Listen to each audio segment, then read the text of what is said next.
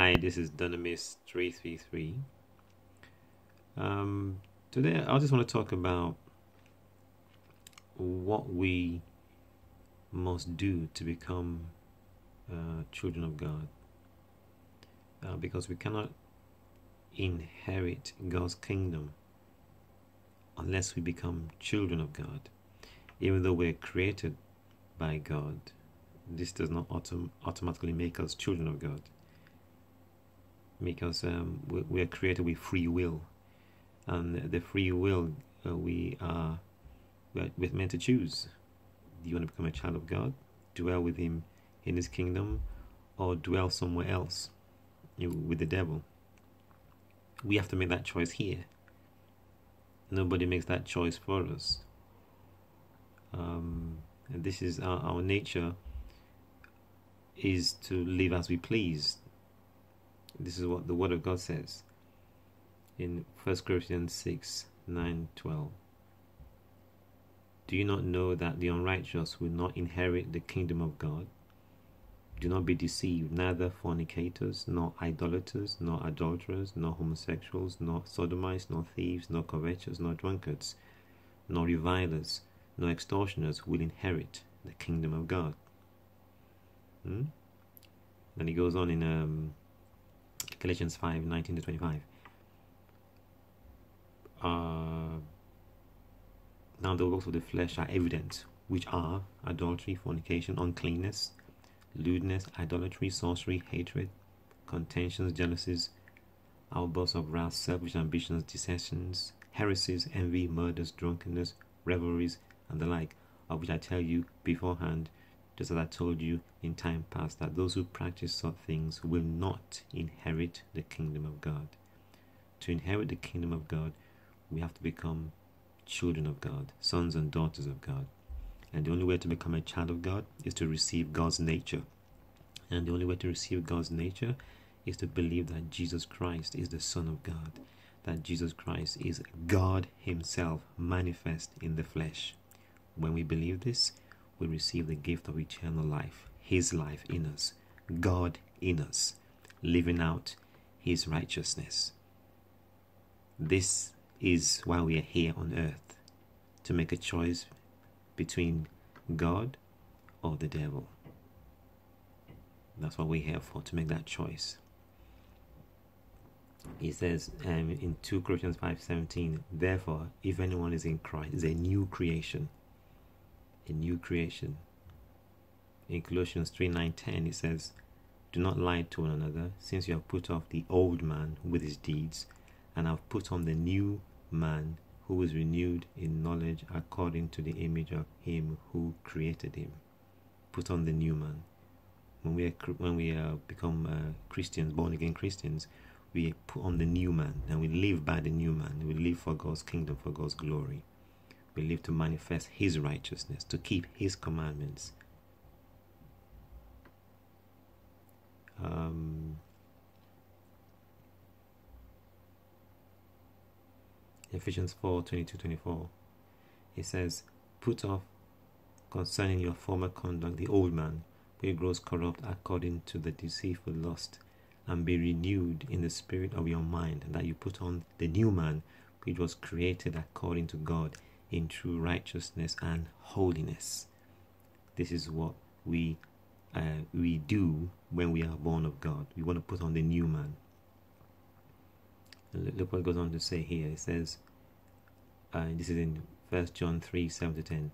Let no one deceive you. He who practices righteousness is righteous, just as he is righteous, just, just as God is righteous. How is it we can be righteous just as God is righteous? Because we are living by His Spirit in us. God is living out His righteousness in us. So when we are when we accept Jesus as our Lord and God, He makes our heart, our soul, His permanent residence. So when, when we practice righteousness, is God practicing righteousness through us? And is molding us, changing us, transforming us into an image of Himself, preparing us to dwell forevermore in His kingdom. This is the, the purpose of man to choose to live for God, Whoever, whoever conf- this is in First John 4 15 to 17. Whoever confesses that Jesus is the Son of God, God abides in him and he in God. God abides in you when you believe and confess with all your heart that Jesus Christ is the Son of God. He can now live by his Spirit through you. He can manifest love, righteousness, holiness, kindness, you know, love for the marriage covenant, love for having and raising children, love for you know being a good man, being a good woman, and manifesting righteousness wherever you are. The, the first people that should see that you you are being transformed into a child of God, if you've never been, uh, you've never believed in God in your life before, is your family, your wife, your your your husband, your children, your parents, your brothers, your sisters, your your colleagues at work, your friends. They should see the new man, new woman manifest when you become a child of God. The idea that you can become a child of God and remain as you formerly were is a fallacy. Anyone that tells you that is, is, is, is lying to you. Because when you become a new creation, that new creation will, will fight the old man to manifest. Yes, there's going to be a bit of a battle because the old man will want to continue living, but you know, it, your old man is a servant, he's not the master. The new creation is the king, is the, queen, is the ruler, and he wants to rule over this flesh. Hmm? The flesh is evil, and uh, it needs to be subdued. And when you become a born again Christian, that's what starts to happen. As you read the word, as you pray, as you start to manifest, start to live the Christ life. Hmm? For this is the love of God, that we keep his commandments, and his commandments are not burdensome. For whatever is born of God overcomes the world. Mm? You're born of God, you have the power to overcome the world, to overcome sin that is in the world, which is basically the, the body, which is the, what we have in the world. Um, so this is um, this is what it takes to become a child of God. Believe that Jesus Christ is the Son of God. Receive eternal life the, the life of God, His love, His righteousness, and start to manifest that day in, day out. And that's what prepares you for His kingdom. Um, you, you, you, pray. The first thing you got to do, you know, you pray.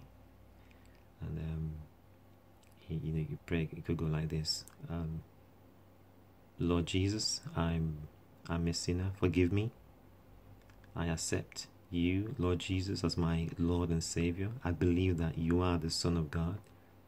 Uh, come and dwell in me. Come and make me uh, whole. Cleanse me from all my sins and manifest your, your, your righteousness in me. Thank you, Lord. Amen. And when you pray that prayer, you start to read your Bible every day. Remember to pray the Lord's Prayer in the morning and at night and just start to manifest righteousness. What will happen is that the, the, the desire to to live uh, for God will start to manifest. You start to desire thoughts will come to your mind to do things differently than you did before. Like if you're, if you're someone that maybe you, as a man, maybe you, you you you speak to your wife in a in a way that is not right. That will change. You won't do that. You won't you, you won't say that things like that anymore. You you start to speak more kindly your behavior will change. You know, if you if you're a woman and you have a you speak to your husband in a very disrespectful manner, that will stop. You won't want to do that because the new creation that's not how the new creation lives. The old person will be subdued. And if you're a, ch- a child and you have got parents, then you're still at home. You you you won't want to disobey your parents. You you want to they ask you to do something, you'll do it you respect them. See, the, the new life will manifest depending on whether you're male, female, a young child, adult, an elderly man. The, the new life will manifest. It will manifest, and you'll see it. This is it. This is how eternal life manifests. It, mani- it manifests as the love of God, the righteousness of God, the works of God.